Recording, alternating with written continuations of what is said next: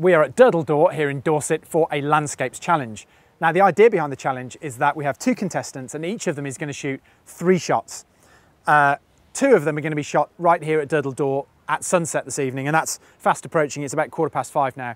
And then the other one is going to be shot tomorrow morning at sunrise at a different location. So it'll be a really interesting few hours. We've got great weather, blue skies with a few wispy clouds around, so perfect for landscapes. So our two challenges are Louise and Georgie. So neither of them are, by their own admission, kind of landscapeists, landscapers really. They are sort of uh, more into kind of portraits and events. So this isn't really their thing as such, but, um, but they're both really keen and really excited and both like worryingly competitive. So I'm going to talk to Louise first. So Louise, you are, uh, we've walked down from, from the car park and so you've seen kind of there's two beaches, aren't there? And have you seen some good stuff here? Or? Yeah, I think so. Um, I'm really liking all of these rocks. I think the textures are really nice. Yeah. Uh, and then there's some really nice kind of leading rocks out that way as well. So I think I'll find something to shoot. Yeah, yeah, it's a really nice location. We've got cracking weather for it. Mm. Yeah. And Georgie, you feeling uh, confident? Ready to rock? Yeah, I think so. It's such an epic landscape location. I think I'm going to try and get some really classic epic wide angle landscapes here, yeah. Nice, nice. Okay, so two pretty different approaches. So I'm going to give you guys an hour per shot. So you've got two hours, uh, which ties in nicely with sunset. So uh, yeah, off you go. Have a good one. Cool. Good luck. Yeah.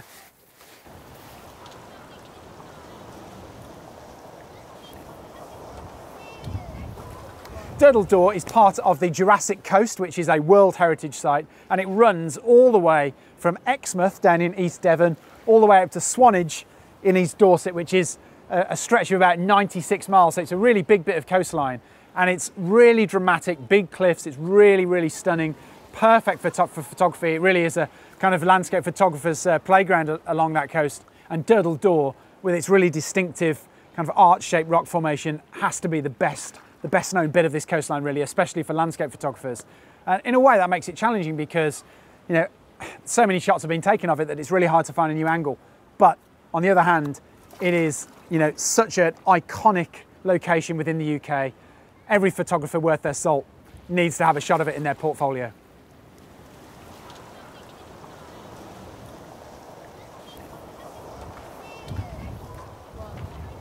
Georgie. Hello. How's it going? I thought you'd Good. find you over here. I saw you eyeing this up earlier. Yeah, absolutely. What, what do you love about it? What's what just, attracted you to it? I think they're really great leading lines into a landscape. I love some good rocks out to sea, yeah. long exposures. You know, I can't resist a good long exposure. There you go. There you go. Yeah, yeah. totally agree. Yeah, I think that's a that's a good cho good choice location. You've got those nice three kind of really clear leading lines, haven't you? That just yeah. like like lead the eye into the scene, which is great. One thing I see when I look at this is look at those cliffs, they're so bright, they're kind of bright yellow and the sun's on them, but this is in shadow. How are you dealing with that? Um, I've stuck a grad on the end, so it just oh, darkens right. down my sky a little bit. Yeah, um, yeah. It's just finished sense. there. Yes. Oh, look at that. Yeah. That's, that's a belter, isn't it? It is really like everything pushes you into the middle of the frame. It's really yeah. kind of draw. It's really kind of a sort of a drawing shot, isn't it? it draws you in. It's uh, it's really nice. Good colours as well, all blues and oranges, which always look good together absolutely. But it's been a bit of a challenge because this is a really popular spot for rock pool uh. hunters. So I've had to move around and I've only just been able to get the spot that I want because um, I didn't want to move them and ruin this yeah, holiday. Yeah. do you mean the shot is far more important know, than their holiday, surely? right, well, I'm going to go and uh, find out what Louise is doing. I think she's over at the other end of the beach, so uh, good Great. luck. And Thank I will you. catch up with you in about an hour's time. Yeah, see you soon. Cheers.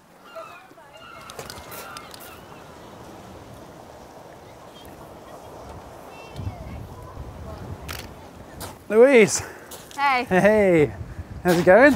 Yeah, good. Yeah, um, yeah the uh, foreground is looking really nice with the, all the seaweed uh, and then the rocks underneath the water as well. I've got that like big, nice big rock in the background as well, so I think it'll look really good. Yeah, it's a nice spot this, really nice. And it's kind of away from the crowds a little bit because it's a kind yeah. of a lot of people around over there, so it's really sort of um, a bit more kind of secluded and you've got the extreme foreground, quite nice foreground interest and, and an extreme background, so yeah, nice. Uh, Nice, nice depth in the shot. I think that'll be a good, yeah. good image. Yeah, hope so. Yeah. Cross fingers. What lens are you using? Uh, the 20 mm Sigma 1.4. Oh, nice, nice, very sharp. Mm. Yeah, good lens. Yeah. Uh, the only problem with it is that uh, it's got this on the end, so I can't use any polarizers or uh, big stoppers or anything. Fixed like lens hood, yeah, that is one downside to it, but uh, nevertheless, spanking good lens that. Mm, yeah, really sharp. Yeah. Uh, so what shutter speed are you kind of? Uh, well, it's funny. About five minutes ago, I was doing about one three hundredth, and now it's Yeah. down to about fifty or sixty. So Okay. it- Yeah. I think the sun is going down fast. It is going down fast, yeah. It's just a bit of cloud on the horizon, isn't there? But um, yeah, so uh, with that in mind, uh, we're kind of getting towards where we need to be for sunset. So I'm going to head back up to the top and uh, yeah, see what's going on up there. All see right, if I can track Georgie down. Yeah. Cheers. All right.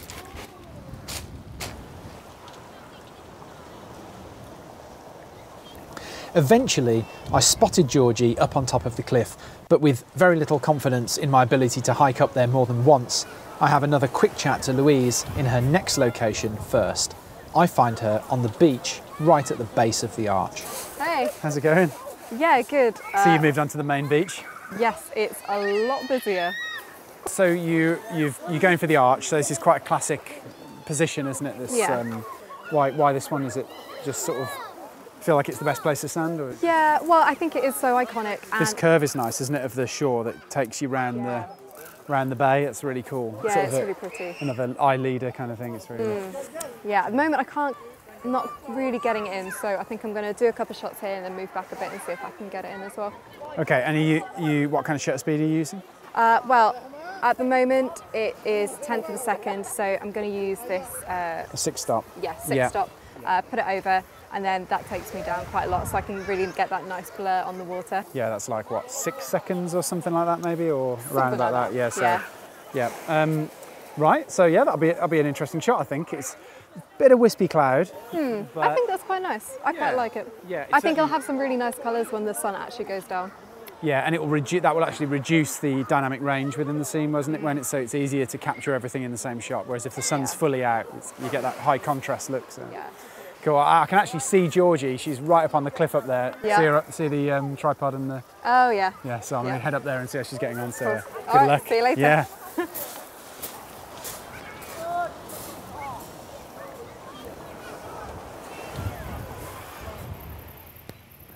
Georgie. Hey. Oh man, that was a climb. It's got the uh, gets the old calves, doesn't it, and the and the thighs. Oof. It's good for you. Yeah. so uh, you've gone for the old high vantage point. Yeah, yeah. I looked at the beach and I thought that's a little bit busy and I don't want to battle with people again. So uh, went for the cliffs because no one can be bothered to walk up here except me. Good shout. Good shout. Yeah. The sun has now gone behind the cliffs. Is that a problem for you? Like, is Uh, it- Not really. It's giving me a nice orangey glow at the moment, but just before it was a bit harsh on the rocks. It was blowing them out a little bit. So now it's gone behind. It's a much flatter, much nicer light. Yeah, I see what you mean. So it's easier to get everything exposed correctly in the frame without worrying about kind of hard Yeah. shadows and highlights. Yeah. We've got about 15 minutes till sunset. Are you going to stick stick here? You think this is your best bet for that really colourful shot? I think I'll stick it out. I might try a little bit further down the cliff, but Not Yeah. that way. not that way, no. yeah, yeah. Good luck and uh, see you in a bit. Thanks. See you in a bit.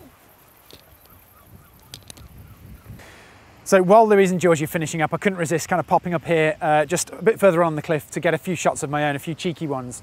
Um, the sun actually sets in about two minutes' time, although for us, effectively, it is already sunset because uh, there are some cliffs over there and the sun is behind them. So there is no more, no more sun in our scene at all.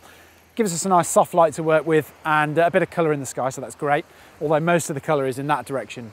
Um, while I'm up here, I wanted to tell you a couple of things about Durdle Door. There are kind of three, I guess, kind of classic places to shoot from when you're here. One is down on the beach in the corner there, kind of as close to the arch as you can get, I guess, um, without getting your feet wet.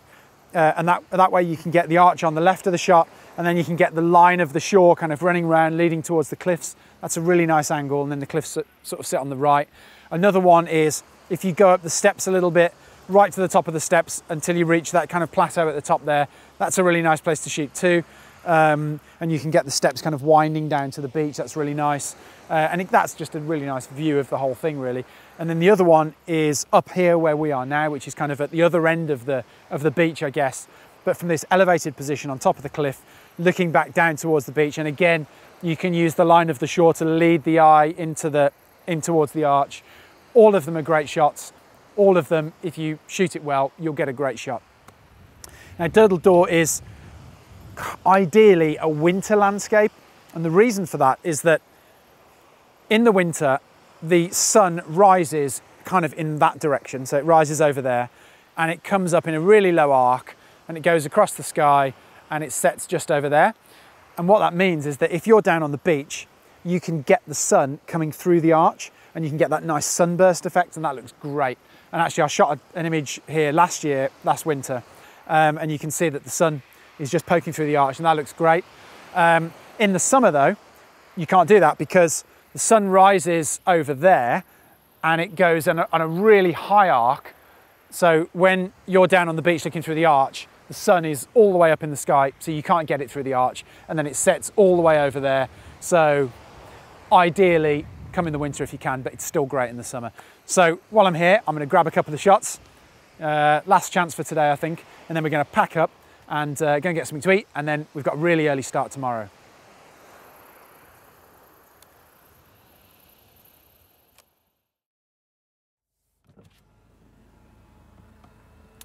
Right, so it is just before five in the morning. It's pitch black, uh, and we, have got onto location exactly at the time that we wanted to, which is great. Uh, we've probably got about a, uh, maybe a 20 minute walk up the hill, so Corfe Castle is on a hill over there, and we're going to go up an adjacent hill, which is kind of over there, and that'll give us the best angle, the best view, um, and hopefully we'll be up there in time for first light. Uh, you can just see just a sliver of light just on the horizon now, so we need to get moving. But uh, yeah, hopefully we will uh, get a good shot here today. Corfe Castle is an 11th century ruin that's only a 20 minute drive from Durdle Door, so landscape photographers often visit both in the same trip. The castle sits on a grassy mound, and if you're lucky, a dawn mist can surround the mound to leave the castle jutting out through the top. Well, that was a little bit of a tromp, bit of a leg burner. That's really, really steep getting up here. Um, but we've got to a good point now, I think. It's a really nice sunrise. It's not quite bright enough to shoot yet because the castle's still really dark, but so I think the options are would be to get lower down the hill and have the castle silhouetted against the sky, or to get up a bit higher and just wait, or maybe here and just wait for the sun to come up and, and illuminate the uh, castle a bit better. Um, that one's up to Georgie and Louise, you know, it's their shot, so uh, I'm just gonna hang around here and, uh, and set them to it.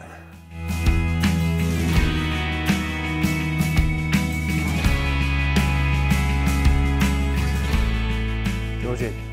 Hello. I wondered where you'd got to. you took some finding, you're in this little kind of nook here. Yeah. uh, how you getting on? Good, good. I've just been playing a bit with composition, trying to figure out to have more sky in or more foreground and yeah. And, uh, yeah. The uh, the colour's pretty awesome, isn't it, at the moment? It really is. stunning because you've got the sort of oranges, the yellows, the blues, mm. the pinks. It's like the whole lot. It's brilliant. And uh, settings and stuff. You got so you got a filter on there. Yeah, I've got a uh, ND, just a little stopper on there, yeah. and a grad, and I'm on uh, F18 for 20 seconds at the minute. Yeah, nice. Brilliant. Well, I'll, uh, looks like you're getting on pretty well, so I'll leave you to it. See how Louise cool. is doing. Great stuff. Yeah, nice one. Good work. That right there is one amazing sunrise. Yeah, it's beautiful, isn't it? It's so still as well, isn't it? Yeah. It's like there's no wind whatsoever. Yeah. It's amazing. It's really nice to have that like dappled sky up there. Yeah, it's so pretty. Wow. And the sun actually comes up in one minute. Cool. So go away then. potentially we might get a bit of sun coming through on the back, oh, bit yeah, backlighting, which would be nice. But um, don't know. Hard to know whether that'll look any good or not. But how are you getting on? Uh, I don't know. I, I, can't decide whether to go for portrait or landscape. I'm sort of leaning towards portrait. Right. But yeah, yeah. I better decide if it's one minute away. yeah. Good luck with that. So I suppose with portrait you can get this. Um, actually, there, imagine getting those blackberries in the foreground. That'd be mm. awesome. like really close up. Mm. That'd be amazing.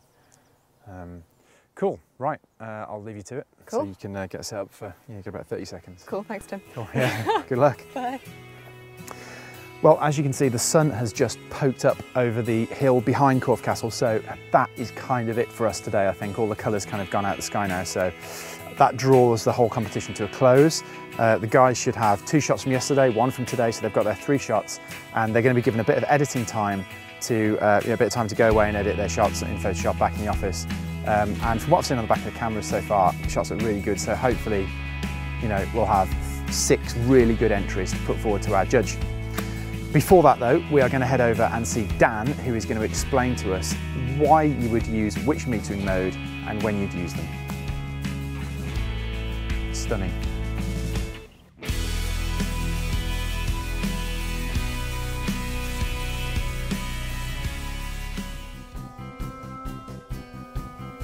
So, with all the images now selected, edited and printed, it's time to find out which shots the girls chose to enter and why.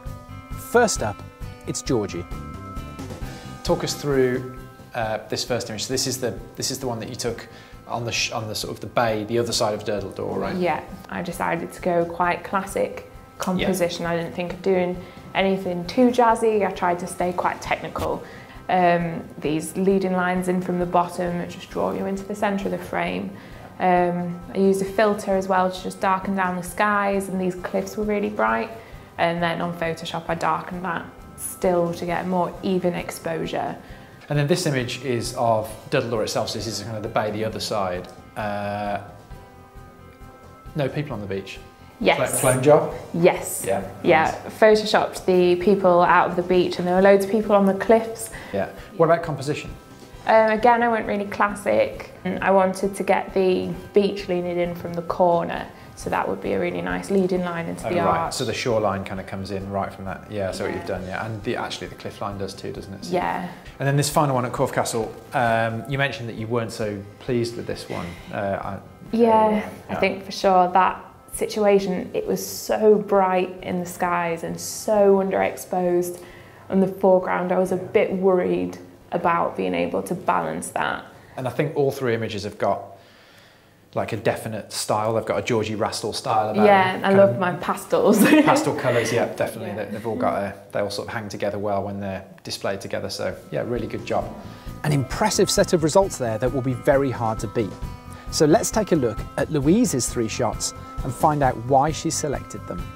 Right, so Louise, talk me through images. So um, this first one, this is an interesting, um, an interesting image because it was sort of really different to kind of your classic Durdle door shot. Mm -hmm. um, what made you go for that?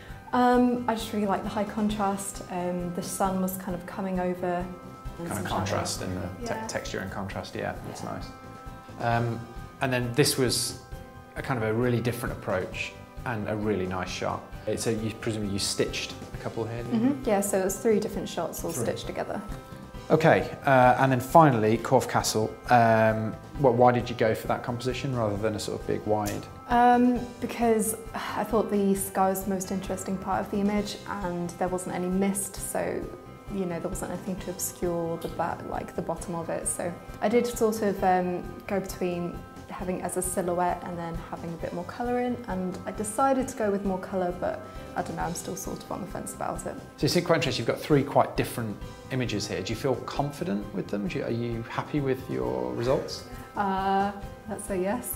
Yeah, so quietly, quietly confident maybe, kind of. Sure, so, let's, yeah, yeah okay.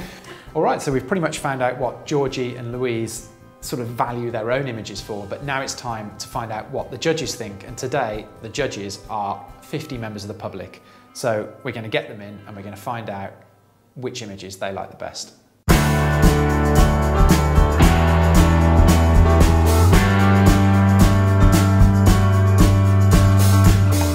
Okay, so uh, everyone has voted. It was about 50 people that we had in, and um, this first pair, which was the, the first one that you shot, so, um, for, so at the same location at the bay on the other side of Durdle Door, um, I can reveal that this image won, and it won by quite a bit. This was the most sort of polarised um, set of votes out of the three pairs. In the second category, um, I suspected that this would be very close.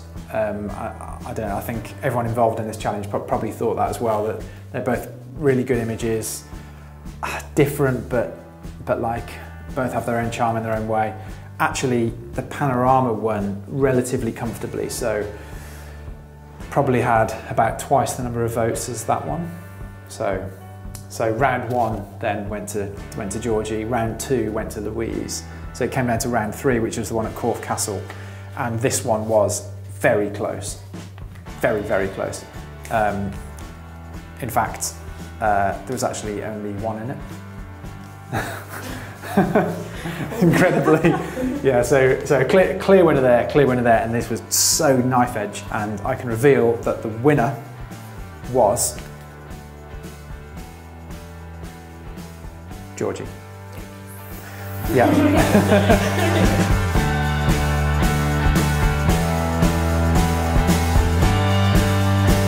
yeah, really pleased with that result. Uh, landscape photography is growing on me. It was quite a nice couple of days down on the south coast and can't complain when you sit in the sunshine and take some photos. I'd like to thank my mum.